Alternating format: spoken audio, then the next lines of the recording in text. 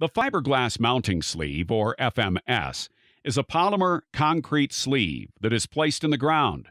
It provides a stable mounting platform plus storage space for OSP cable slack. The excavation for the mounting sleeve must be large enough to provide room for 12 inches of fill below and on each side of the mounting sleeve. Using crushed rock with stone dust, fill the hole with 12 inches of stone aggregate and tamp it into a level surface.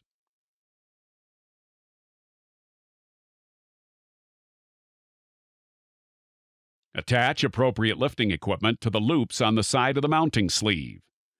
Place the mounting sleeve into position. If required, place and route the conduit into the FMS. Backfill with stone aggregate around the mounting sleeve. Pull feeder and distribution cables out of the hole and coil them on the ground. Mount the FMS adapter cover on the FMS and secure. Place the provided isolation gasket on the FMS adapter cover. Holes in the gasket align with the holes in the adapter cover. Make sure the wide side of the gasket is on the side of the adapter cover that corresponds to the front side of the cabinet. Use a 3 16 inch hex key to remove the screws that secure the access covers to the left and right sides of the cabinet ground riser.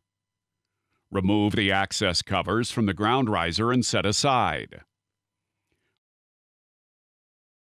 Route the feeder and distribution cables through the isolation gasket and the adapter cover and out the opening of the FMS.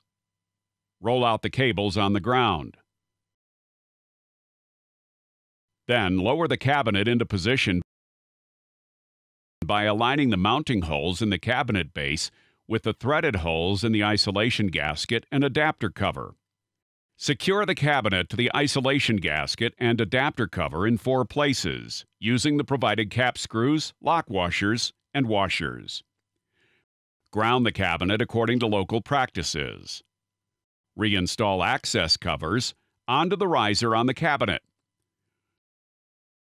Coil the cables into the hole.